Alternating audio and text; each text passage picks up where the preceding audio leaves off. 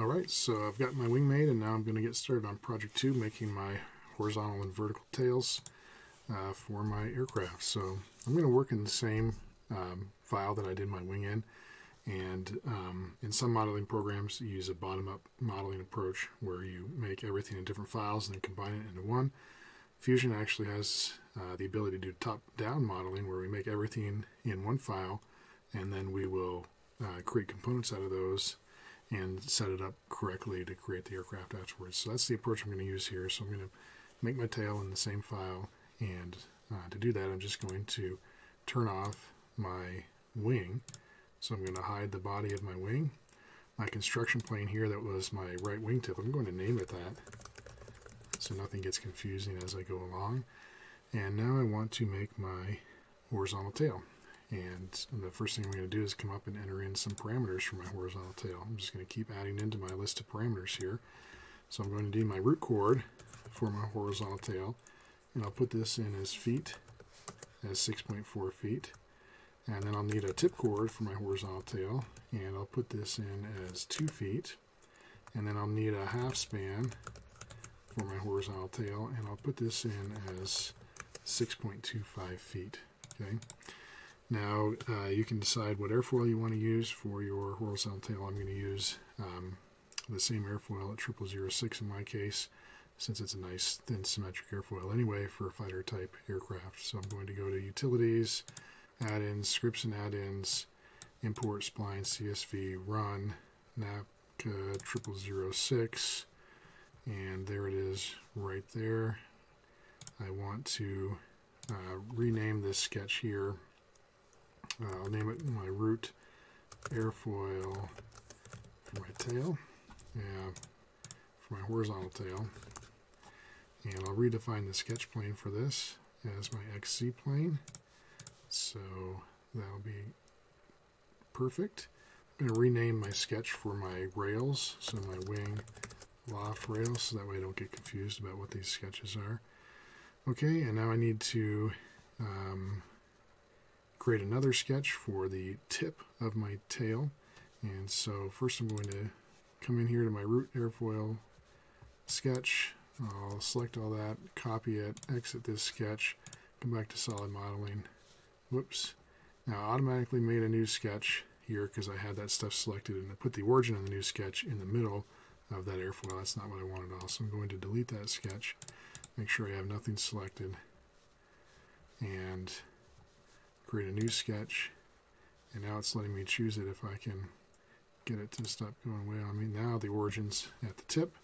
I'm going to line it up here and press Control V and now I've got my airfoil at the tip. So that's exactly what I want. Um, and now I need to scale these two things. So I'll scale the root airfoil for my horizontal tail and this scale factor will be CR H tail R HT divided by 10 millimeters. And now I'm going to rename my, oops, rename my tip airfoil for my H tail. And now I'm going to modify that one and scale it by C sub T HT divided by 10 millimeters. Okay. And now I need to create another construction plane for my uh, tip of my horizontal tail. So I'll come up here to construct, offset plane, and I will move it out by the half span for the horizontal tail. And now I will redefine the sketch plane for this. Basically, the same kind of steps that you did for the wing. Redefine the sketch plane for this to be that plane there. And now I've got a nice setup here for my horizontal tail. Now the only thing I didn't put in was the um, leading edge sweep for the horizontal tail. I want it to be uh, equal between the leading edge sweep and the trailing edge sweep. So I know my root chord was uh, 6.4 feet, my tip chord's 2 feet, so the difference there is 4.4, so I'm just going to move the tip airfoil back by half of that. So I'm going to select the tip airfoil, move it back by minus 2.2 feet, 2.2 feet. And now it's right in the middle. So the only thing I need to do is to set up those loft rails again. So I'm going to create another new sketch. I'll put it on the XZ plane at the origin. I'm in three-dimensional sketching mode so I can connect the origin to the very wingtip. Uh, and now I'll also make a line from the trailing edge of the root to the trailing edge of the tip. Finish that. Now I can loft these things by selecting those two things. In this case, the loft did not need any help from my guide rails at all. But I'm going to go ahead and select them anyway in case I move something around. It won't break my loft later. Okay. Alright, so there's half of my tail. Now I'm just going to create the other half by mirroring this around this plane right here. Now I'm going to want to name these bodies here. So I'm going to name this to be my wing. I'm going to name this to be my horizontal tail. And if now I've got two bodies in here, I can turn them on and off and do different stuff with them. I'm going to arrange them uh, later when I actually have my fuselage in here. And I'll show you how to arrange these bodies. But for right now, I'm going to make my vertical tail as well. I'm going to use the same thing for my vertical tail. NACA 0006 and I'm going to uh, import that CSV file again.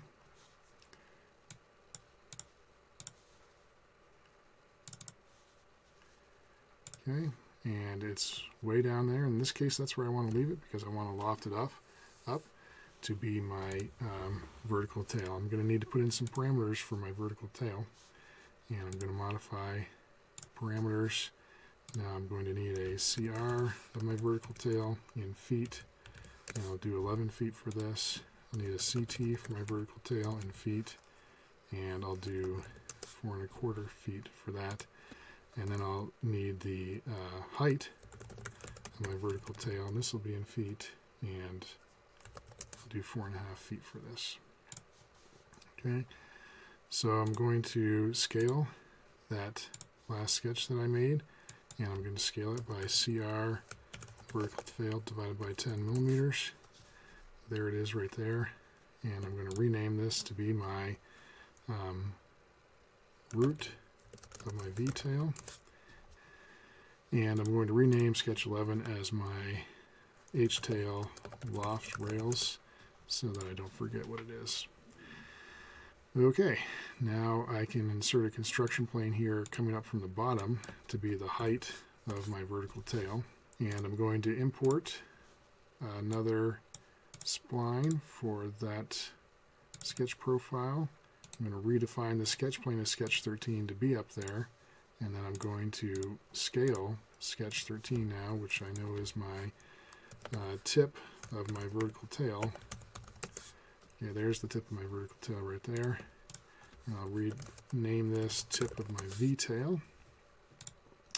Now, I want the uh, V-tail to be lined up with the trailing edge between the root and the tip. So I'm going to select the tip here of the V-tail. I'm going to move, copy it, and I'm going to move it back by a distance corresponding to CR of the vertical tail minus CT of the vertical tail.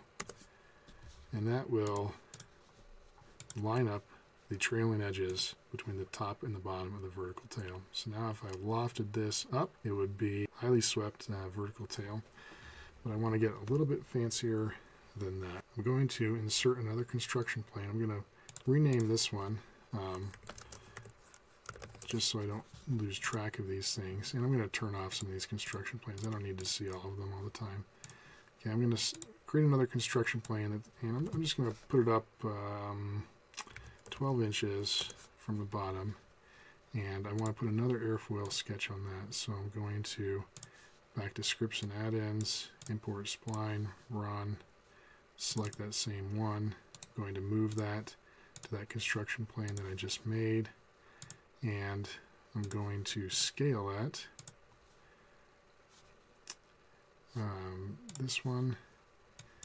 And I want it to be a little bit smaller than the root chord. Um, I'm just going to type in 7.5 feet. and I might come back and change this later. And this is divided by 10 millimeters. So, okay, now I also want to move this back so the trailing edges are lined up. So I'm going to select this, move it, and I could eyeball that, or I could come in and type CRVT minus 7.5 feet. Now it's lined up. Okay. Now I could loft between these three profiles to try to create kind of a curved leading edge on my vertical tail. That's a little bit extreme though of a curvature for a leading edge, so I'm going to create another three-dimensional sketch. Now I'm going to rename that first, and then I'm going to create a new sketch down here.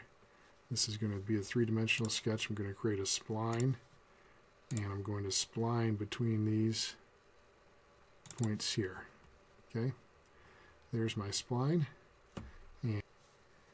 Okay, and I'm going to create a line straight down the trailing edges to connect all the trailing edges, and then I'm going to finish the sketch. I'm going to try the loft again by selecting these three things.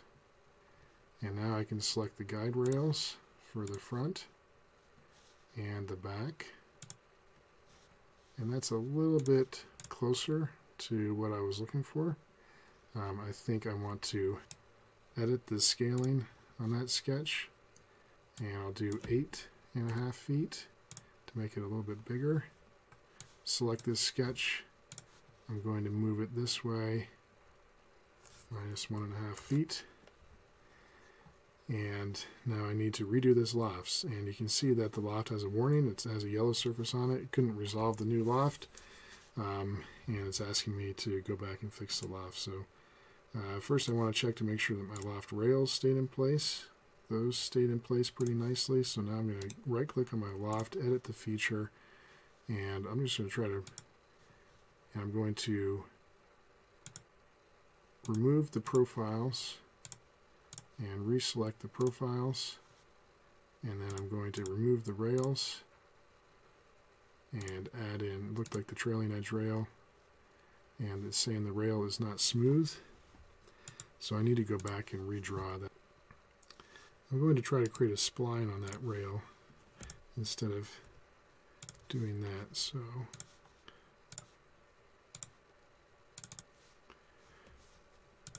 and now I can redo the loft edit feature.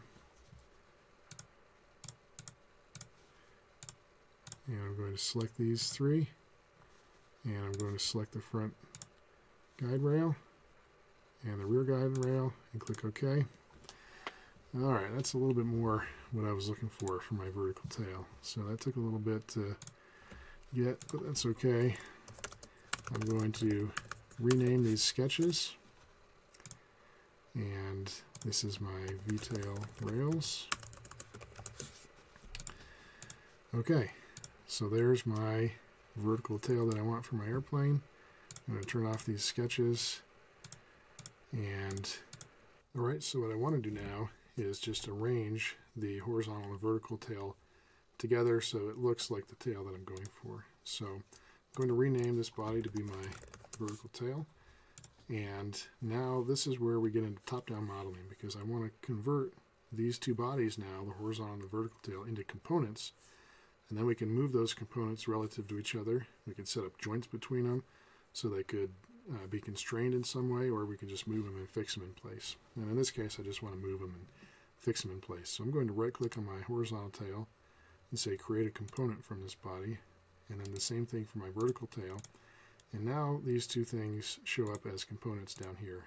Now that they're components, they have their own origin and their own bodies inside of them, and uh, it's technically a separate system than the origin system from the main drawing. Uh, so now with the horizontal tail, for the tail that I'm going for, I want to click on the horizontal tail and move it into position. So I'm going to move it up, and I'm going to put it on the top to make a T-tail with my vertical tail. So I'm going to line up the nose of it so it's right about there. And I'll move it back just a touch more. And I think that's just about where I want it. Okay, so now I'll press OK. And now I want to uh, lock these two components together. Now we can uh, create different kinds of joints between them, rotation joints or slider joints or uh, whatever. But I'm going to create a rigid group between these two things. And it says, do I want to capture the change position? And I sure do because I put it right where I want it, wanted it. So I'm going to select the two components that I want to make as a rigid group and press OK. And now I've got my horizontal tail as a rigid group. Now I can turn my wing back on and I can click on the move command. Um, I'm going to move components this time. I'm going to click on this component and now the whole thing moves together and I'm going to put it back there and in the next video I'll make the fuselage and hopefully all of this stuff will come together pretty nicely uh, when I have my fuselage in place.